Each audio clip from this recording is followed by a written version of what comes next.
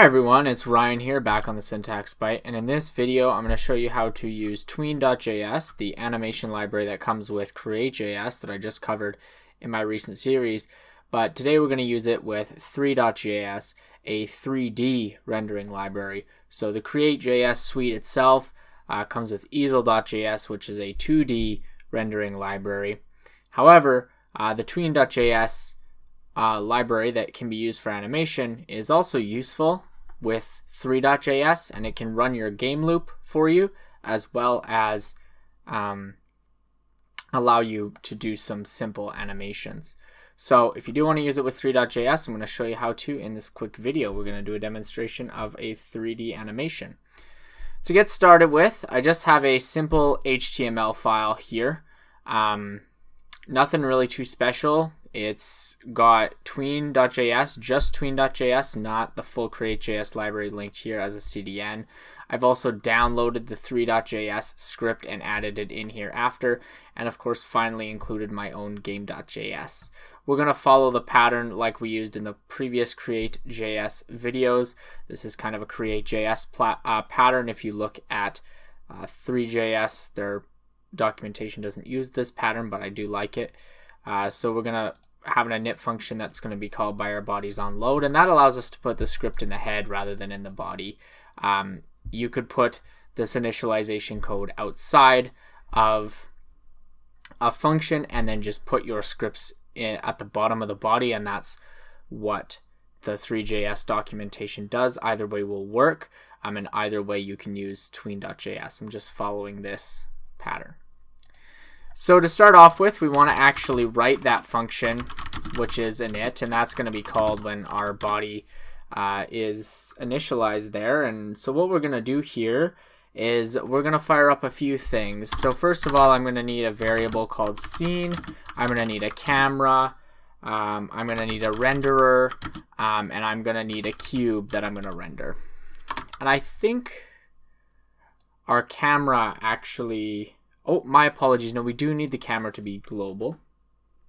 Um, because we will need to call it from our game loop. So all of these things will either be modified by tween.js or called uh, by, by the game loop there. So to get started, we're going to create a scene is new equal to new 3.scene. And then, of course, we're going to create a camera. Three.js comes with multiple different types of cameras, but in this case, I'm going to do a 3 dot perspective camera. Uh, that is going to be 75 for the viewing uh, field of view. Um, then we're going to add the aspect ratio in there. I'm going to use a resolution of 640 by 480. You could do something different in the main documentation. They actually use the entire browser window, but I think for a simple demo like this, that's a little excessive. So I'm just going to do 640 divided by 480. Of course, this is your width divided by your height. You'd rarely want to use a different aspect ratio than what you're actually going to have your canvas. Uh, 0.1 and then 1000. So this 0.1 and 1000 represent the near and then far clipping planes. So anything closer than 0.1 units um, to our camera uh, won't be rendered. It's, it's, considered too close to the camera. Um, and then anything further away than a thousand units won't be rendered by the camera either. It's too far away. Next, we need to set up our renderer. So that's going to be renderer equals new 3.webgl renderer. So we use WebGL. And then we will do a set size. This is where I'm going to set that resolution again. In the documentation, they actually use the whole browser. I think 640 by 480 is perfect for our little demo here, so I'm going to do that. And then you'll notice different with some other libraries. I would have, in other libraries, I often would have added the canvas here to my body, hard-coded it in the HTML. In this case, I'm actually going to use, uh, do that from JavaScript. So I'm going to let three.js uh, create the canvas uh, using JavaScript and then I'm going to append it to my body. And of course you don't have to append it to the body. You could append it to wherever is appropriate for your page. But for this simple example this makes sense. So it's just renderer.dom element. Next up we need to create something to actually display. So we basically have everything we need to render a scene but we have nothing in our scene So we're going to create just a simple box, and then that's the box that we'll use to do our animations. So we'll create var geometry is equal to new 3 dot box geometry. I believe it has a default size of 1 by 1 by 1, so we actually don't need to give it a size there. var material is going to be equal to new 3 dot mesh basic material. This is a very simple material that doesn't actually respond to light. Um, so we can see it well, but if you add a light to your scene, you won't see any effect. Color, um, I'm using this 0 x, so obvious hexadecimal, 93 CCEA color. It's like a blue color, and uh, yeah, Atom renders it there, so it's like a blue color. Perfect. And then finally, we'll take our geometry and material and put them into an object, which we've declared on the global scope. So I'll do cube equals new 3 dot mesh um, and then we give it the geometry, so that box there, and the material, um, and that will, so this controls how it looks, this controls the shape. Lastly, I'm simply just going to uh, add some, make sure that the material can be rendered transparently. Um, so I'm going to do cube dot material uh, dot transparent equals true, and of course we'll have to modify the opacity, but that will ensure that when we do so, um, it appears transparent. Finally, I'll add it to the scene, scene.add cube. The last thing I will do is move our camera a little bit because by default everything is at 0, 0, 0. Um, and so we won't be able to see it. So we need to move our camera back a little bit. I'm going to do a camera dot position dot z is equal to 5. Now, if we just move the z position, we'll move it back from the cube so we'll be able to see the cube. However, that being said, um, it won't um, it won't really look 3D because we're looking at the cube straight on at one of its faces. Um, so to make sure that we can tell that it's actually a 3D cube, I'm just going to change the Y position to be equal to 1, 2, and that way we can see just a little bit of the top of the cube and just make sure that it looks 3D.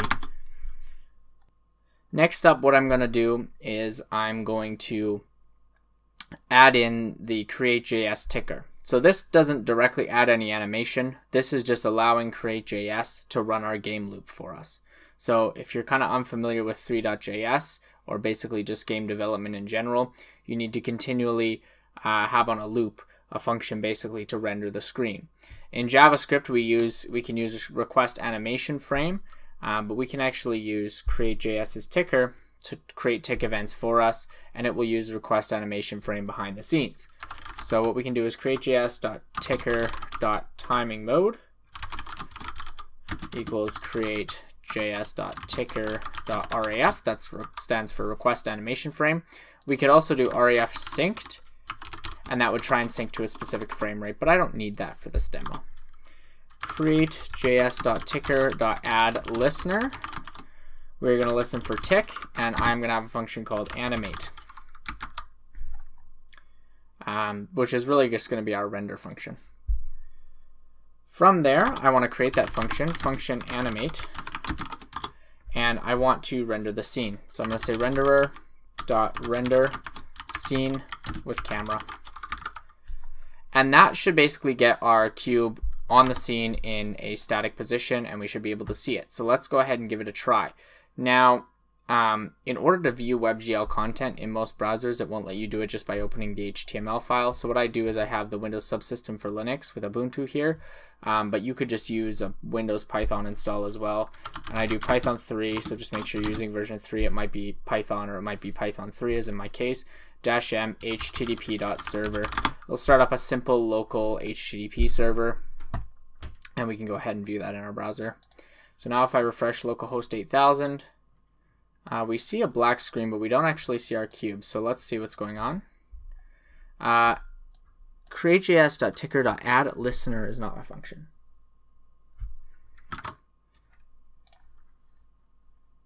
And of course, my apologies, it is add event listener. Let's go ahead and try again.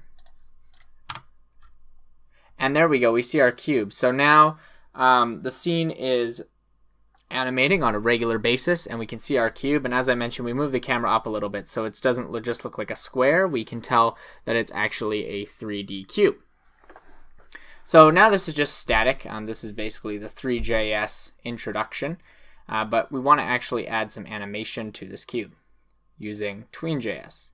So what we can do now is after we basically um, got everything going, what I'm going to do is I'm going to set the cube to uh, dot material dot opacity.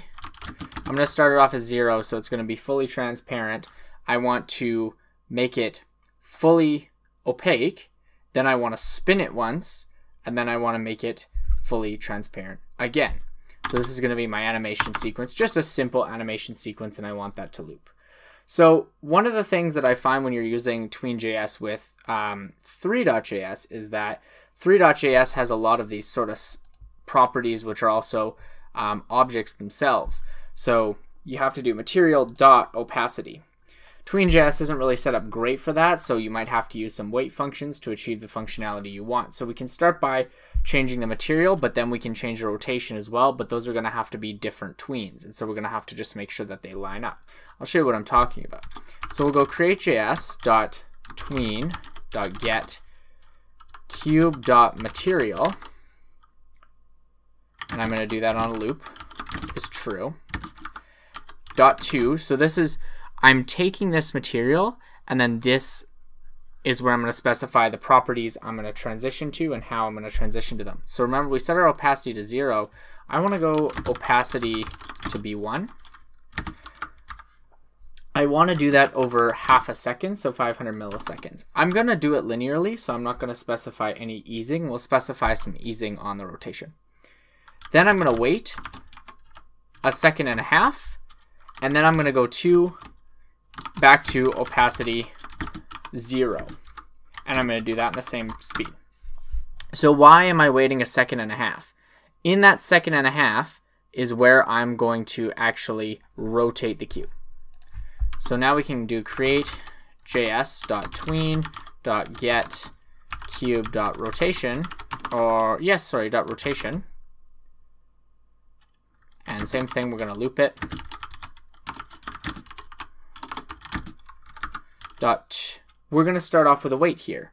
So whereas here we were going dot 2 over 500 seconds, I'm going to wait that 500, uh, not 500 seconds, 500 milliseconds.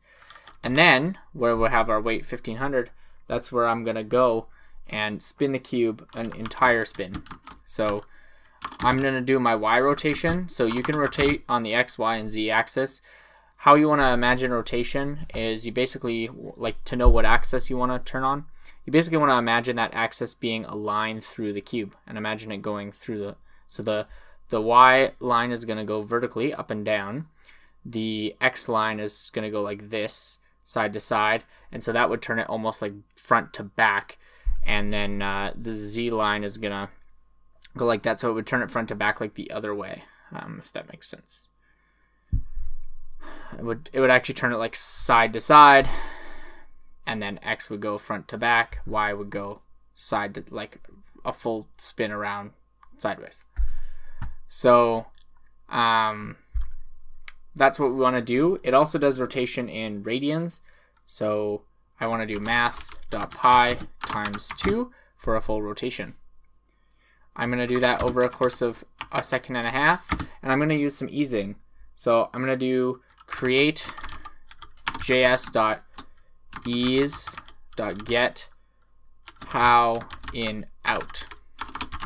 And this is um, I'm going to use an exponent of 3 and basically what this is going to do is it's going to um, cause the cube to start off slow get fast and then go slow so you'll see how the rotation starts really slowly goes really fast and then goes really slowly you can mess around with the exponent to make the effect a little bit more drastic and then finally, we need to wait for our cube to fade in and out again.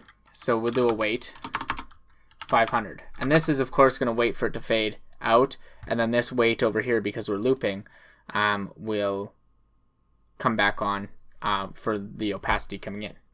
So I'll go ahead and save it now. And now we should be able to see our cube uh, animating. And so we can see that. So it loops, it goes fully transparent, comes back, does a full spin and you can see how we have the easing on the spin. Like I mentioned, the rotation starts off really slowly, goes fast, and then goes slow, um, and then fades in, fades out. So this is just a simple example of how to achieve some 3D animation with Tween.js and three.js. I hope you enjoyed it and I hope uh, it's something that you can build upon.